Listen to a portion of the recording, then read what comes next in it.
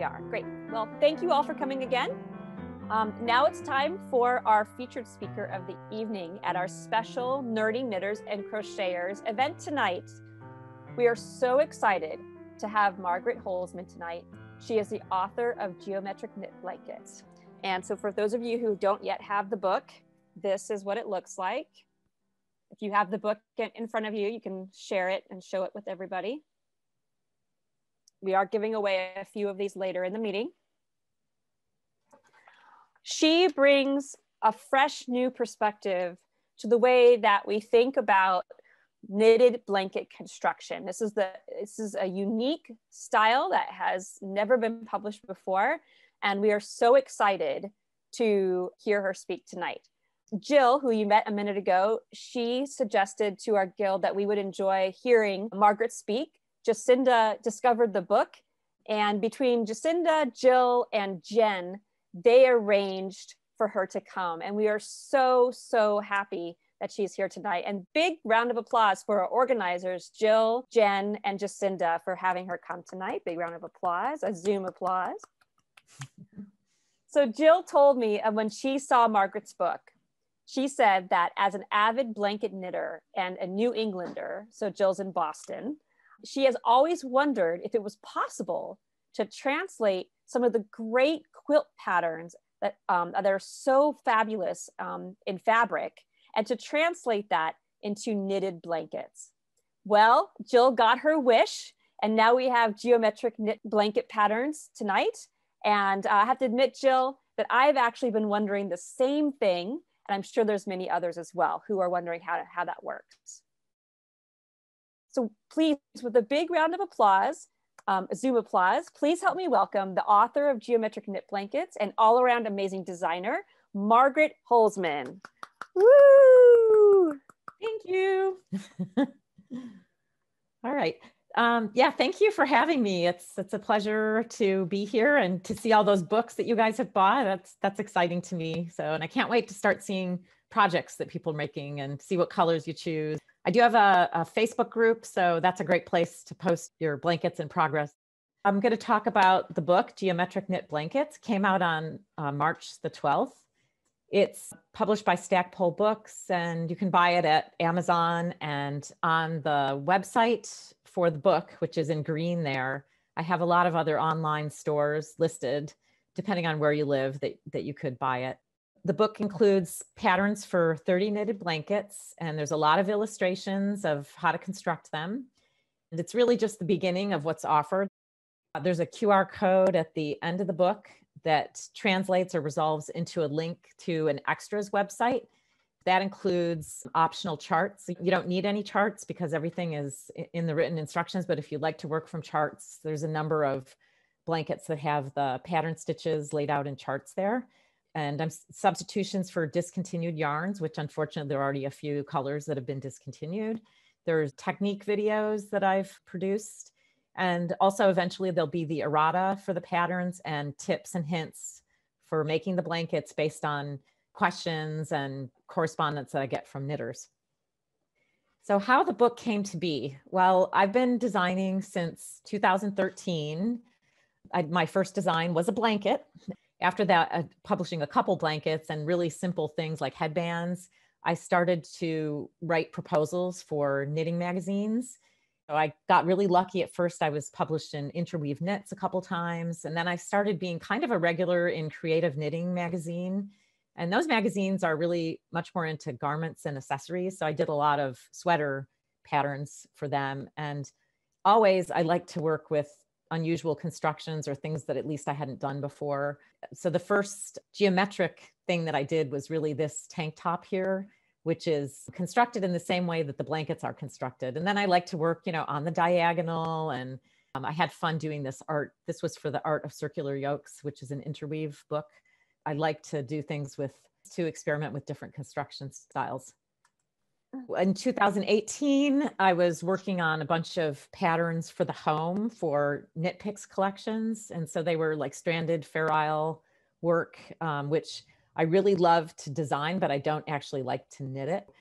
And this one over here was like a texture blanket. And this one here was actually a kind of a geometric style because these pieces are all worked in a different direction, just like the blankets are, but it was done in stockinette and cables. In 2018, I got this idea to knit this Prisma blanket. And later I'll show you the inspiration for that, but I'm, I'm not quite there yet. And I was calling it the geometric blanket. I put it on the testing pool for testing and I had a whole bunch of testers. I think there were maybe 10 or 11 testers, and there was a rectangular version of the blanket and a square version. And so you can see this blanket in various stages of construction. These are photos from the sample knitters. And here is Rachel Harold uh, with probably a relative of hers. I don't know, maybe her mother, I don't know, or grandma, I'm not really sure. Yeah. So, but she's, you know, featuring here her her test knit for the geometric blanket, which later I named Prisma. I also did this wall hanging that's based on the same construction. I have that in my family room now, but I never published it. So to me, uh, a blanket is kind of like what a blank canvas is to a painter. I, I feel like there's a lot of freedom in designing a blanket because I don't have to worry about how it fits or you don't have to worry as much about the gauge. You still have to worry a little bit. I, don't have to worry about whether it's stylish or fashionable. And it's, it's really kind of like a blank canvas for me to do what I feel like on it. Um, and while all the time while I was working on these sweaters for the magazines and book collections, I was jotting down these ideas I was having about blanket designs.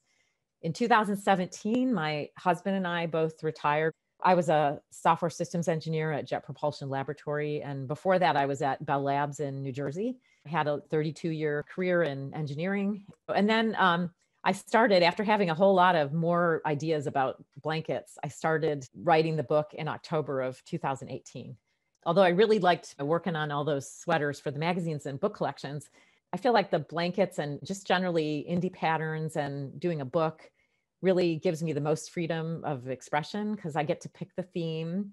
When you're submitting proposals to a magazine or book collection, you're writing and designing to their theme, not your own. And I had control over the designs. I, I got to choose which ones went in the book and which ones were rejected versus an editor at a book collection or a magazine. I chose the yarn, the colors. I chose who to work with from photographer, sample knitters, tech editor, and I chose when to work. I didn't mind working to a due date, but if you don't like to work to a fixed due date, then you can you can self-publish like to Ravelry and Etsy and other places, or you can wait until your manuscript is done to shop around for a publisher and then, of course, they know exactly what they're getting. Uh, my husband has written a few books, and he, I think for the first couple ones, he waited until he had the full manuscript to shop around for a publisher. The theme of the book is colorful geometric designs that are worked mostly without traditional color work. So that means there's there there are two blankets that have intarsia, so I say mostly, but there's no stranded or fair isle work. So all the color work that's in the blanket is created by shaping um, and it uses one of the techniques, one or more of them actually, in the green box on the right hand side. And so these techniques, the, those are the abbreviations that are used in the construction diagram. So this is a, a little figure from the front of the book where those are defined. And the inspiration for everything in the book is quilts, tile designs, and just the possibilities of garter stitch knitting.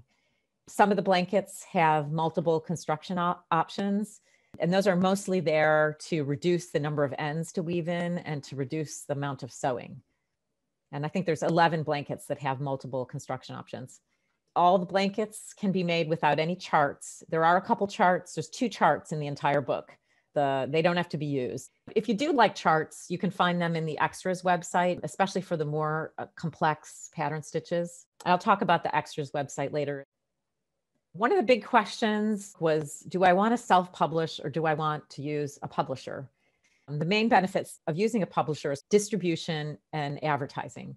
The distribution is printing of your book, you know, get well, getting it ready to print, producing the final layout and printable version. I didn't have to do that. I just had to submit my patterns and illustrations, and they did all that.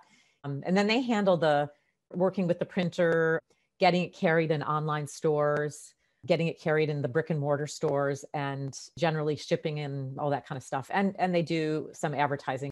I was inclined to use a publisher because I'm a first time author. If I was going to use a publisher, I wanted the publisher on board from the start because I wanted to be able to ask them questions and take advantage of all the knowledge that they have of the industry. I needed to find a publisher. How I started that was I went onto Amazon and I pulled up top rated, top selling knitting books that had been published in the last three or four years. And I made a list of the publishers. And then I created the equivalent of a first chapter of a novel. That first chapter for a knitting book is going to be a set of example designs. Then I, I wrote a proposal, including those designs and a description of my book and what I thought was unique about it. And I did sort of a market analysis, you know, tried to show that this was a unique book, that it was a little different from what's out there already, and that there was a demand for it. I sent out that proposal. Now, some of the some of the publishers they wanted an online proposal like a pdf file and some wanted like snail mail printed out proposals. So whatever they wanted that's what i sent them. And so eventually i heard from all of them. So they have very good manners. So 50% of them said that they had stopped publishing knitting books. So even though i'd seen books by them in the last few years they had decided to exit that market. The others pretty much said that there was no demand for a blanket book. You know, that was a little disheartening. But Stackpole Books, who I ended up choosing as the publisher, um, they were very excited about this book and enthusiastic from just a few days after they received the proposal. It was meant to be with Stackpole Books. And so we negotiated a contract and we decided that the manuscript would be due in December of 2019. I've written some blogs about the knitting design process, including this topic in detail. So if you want to learn more about what I learned through this process, then you can visit my website where the blog is. So a book of 5 million stitches begins with sample knitting. When I looked at my own rate of production of blankets, so I only knit in the evenings because I usually try to do design work during the day. And it takes me about two and a half months, that would be optimistic, maybe three months to knit a blanket. If I was going to have 30 blankets in the book, which is what the publisher was asking for at two and a half months per blanket, my optimistic estimate, that would be over six years to knit all the blankets in the book. You know, I only had 14 months until the manuscript was due. And that was going to be 79 miles of yarn to knit.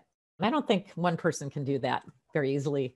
So I decided to have sample knitters and and so what i wanted to do because these weren't going to be garments they were going to be large items that had a lot of yarn in them and good quality yarn i thought that maybe i could find some sample knitters that would be willing to work in return for the yarn and to get a complimentary copy of the book.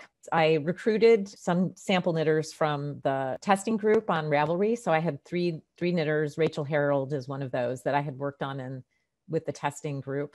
I think maybe Sonia was too. I put in a call on Ravelry to the test knitters group and I advertised for sample knitters and I told people up front what the arrangement was that I was offering. And I reviewed people's um, Ravelry projects and previous testing work or sample knitting work that they had done. Through that, and, and through also two referrals that I got from uh, sample knitters once I had them on board, I uh, eventually got 18 sample knitters. I was the 19th one. And once we had people on board, I did a skills and preferences survey so that I could learn, you know, what skills do the knitters have and what are they willing to learn or try? And what techniques do they like to or not like to use when they're knitting? So, because that can make a big difference in how much you enjoy making something, whether you're using techniques that you enjoy or that you think are horrible. And I had a contract. I, I, I didn't know any of the sample knitters except for the three previous RAV testers.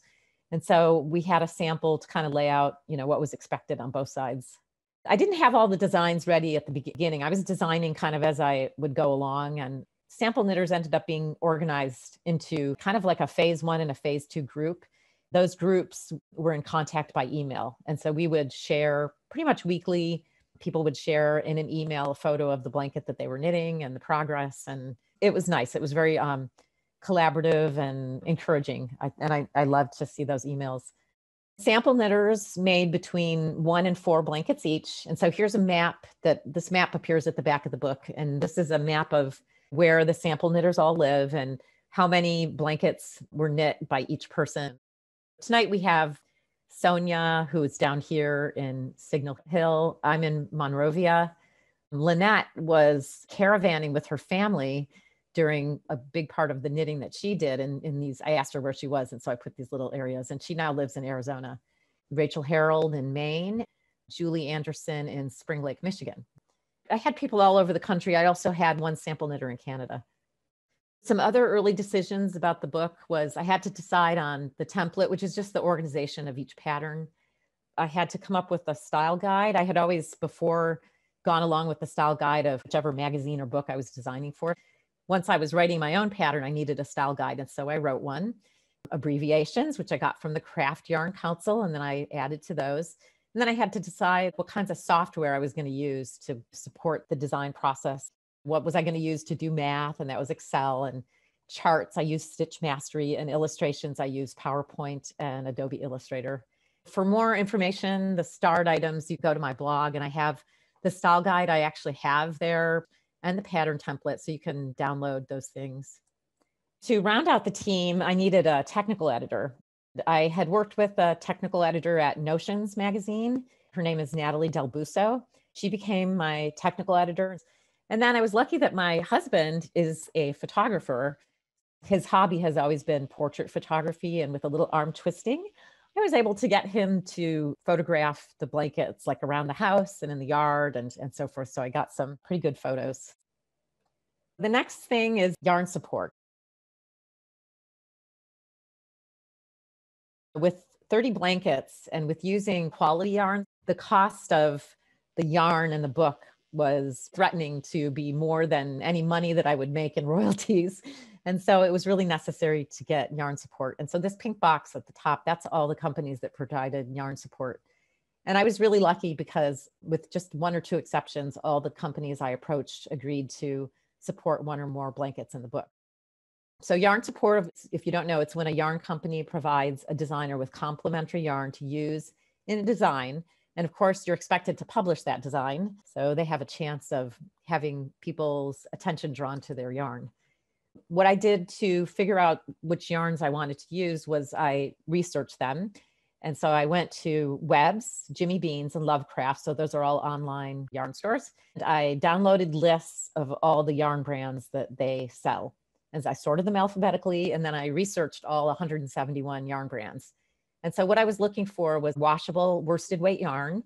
And I was looking for like a large range of colors in the in the yarn line because I wanted to make colorful blankets. And so I wanted a lot of choice. Eventually, I got down to about 40 yarn lines that I thought were suitable for use in these blankets. And so I would come up with a design and I would think about the colors that I wanted in that. And then I would go and look at these 40 yarn lines that I'd narrowed it down to to see which one seemed like the best match for a given design. I would write a yarn support request, and then I would have to determine the person to contact. I started out by like looking on LinkedIn and doing web searches and but anyway, I found out eventually through trial and error that just using the contact us on the yarn company's webpage was actually the best way to get to somebody. And you know, I would just write a brief paragraph describing the book and pointing out my website so that they could look at my previous work. And then within a couple days or maybe a week at most, I would hear back. And either I would hear from the person that was the right person, I'd, or I'd hear from somebody else and they'd give me the contact information. Here's an example of a yarn proposal. This one was the one for the Shadow Play blanket, and it features Plymouth Select Worsted Merino Superwash. At the top, I have a description of the blanket and the name, and then I like to make my yarn proposals all in one page, make it so that if they decide they want to support the blanket, they have everything that they need in the yarn proposal to actually assemble the yarn that I need and ship it out. So I, I have the yarn requirements and I have my mailing address or if I knew who the sample knitter was, I would give them the sample knitter address.